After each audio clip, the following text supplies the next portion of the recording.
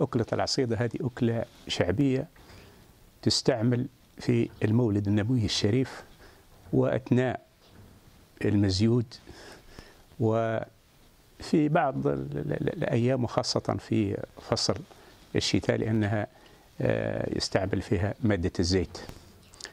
وهذه المادة وهذه الأكلة سنة حميدة وليست بدعة.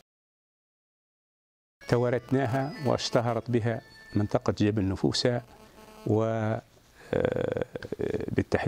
منطقة جادو تحافظ عليها وتدافع عنها بقوة لأن هذه الأكلة تحارب من بعض الجهات كما شرط ويدعي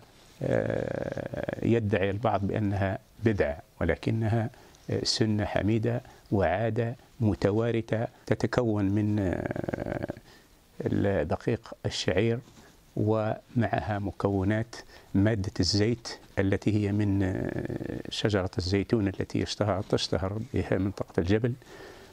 وأحيانا تستعمل بالعسل وأحيانا بمادة الرب من الرب من منتجات النخيل.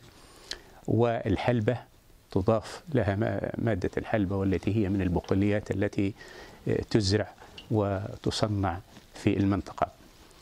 وهذه المادة أو هذه الأكلة حقيقة توارثناها منذ مئات السنين من الآباء والأجداد وأجداد الأجداد ولا زلنا نحافظ ولذلك لا بد على الأجيال القادمة يحافظوا على هذه الأكلة والتي تصنع من من الأشياء البسيطة والأشياء الرخيصة والأشياء التي تنتج في منطقة في هذه المناطق وخاصة منطقة جبل نفوسة وبالتحديد المناطق الأخرى. نحن في جادو نهتم بها اهتمام بالغ ونستعد لهذا المولد النبي الشريف ونحتفل بهذه المناسبة الطيبة المباركة.